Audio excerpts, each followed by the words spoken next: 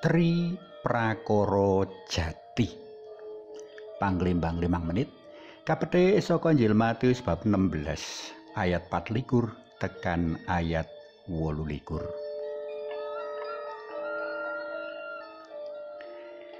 Kanjeng Gusti Pangeran Adipati Arya Mangkunegara Kapat ing buku serat Tripama ngangge tembang dandang gula kanggo nyandra sawijining satriya unggul Raden Suwanda.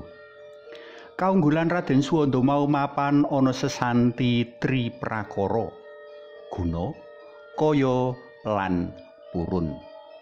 Margo sesanti mau Raden Suwanda dadi wong kang dipitaya dening Ratu Gustine Prabu Arjuna Sasrabahu ing Maespati. Ing panglimbang dina iki aku uga kepingin ngaturake sesanti triprakara kang uga kudu diugemi dening para pendherek dalam Gusti Yesus. Triprakara iki banget pitaya nanging siji karo cecala. Jer isine sabda dalam Gusti Yesus ing waosan dina iki.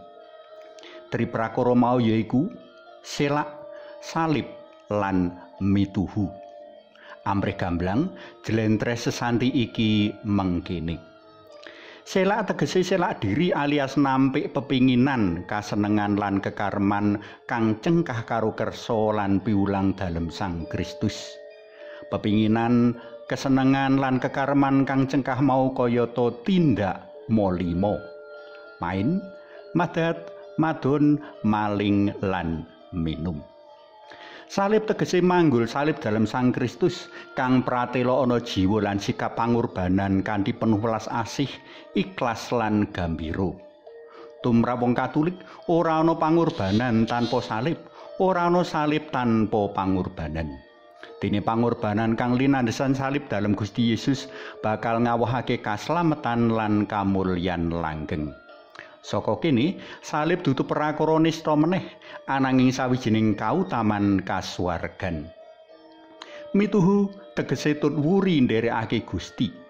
Ana ngendi wae panjenengane madunung makarya lan bebodro, wong Katolik ya ana kono.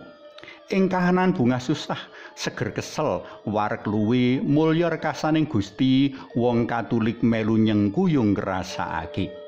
Cekake wong katolik tansah ketut lan ngitut panjenengane sebab panjenengane ngendika ing endi enggonku ing kono enggoning abdiku. Monggo kapirsani Injil Yohanes bab 12 ayat 6 likur Para sutresna PLM kinasih ing jaman saiki Gusti Yesus rawuh ana ing pasamuan dalem uga ana umat dalem kang kupiya tuhu ing piwulang lan ayan. Sopo kang kepingin urip mulya langgeng prayoga nampa lan ngayati sesanti silak salib lan mituhu mligine ing wewengkon urip pasamuan dalem. Sing cetha sesanti silak salib lan mituhu pancen ora kepenak sarta ngemu maneka bebaya lan rekoso ananging iku wis dadi pakon dasar dalem Gusti kang kudu kaayati. Mula ya ora bisa selak lan nolak. Sing sapa arep nderek aku kudu nyelaki awake dhewe manggul salibe lan nderekake aku. Mangkono pratelan dalem.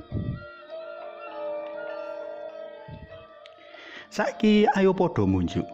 Kunjung asma dalem yang Rama yang putra tuwin yang roh suci. Amin. Gusti Yesus, kawula menjosba nuwun awit kekeran sabda dalem dinten menika. Kawula bingah dene kepareng manggen ing padurungan dalem. Ananging kawula ugi rumaos awrat mring pakon selak diri, manggul salib saha ngetut paduka. Kawula sadar bilih asring langkung remen buru pikajengan piyambak, sutik berkorban sarta ngetut mulyaning kadonyan. Mugi awit saking berkah kegiatan dalem kawula saged dados pendherek dalem ingkang pitaya. Amin. Kunjungan dalem yang Romo, so yang putra, duwin yang roh suci. Amin.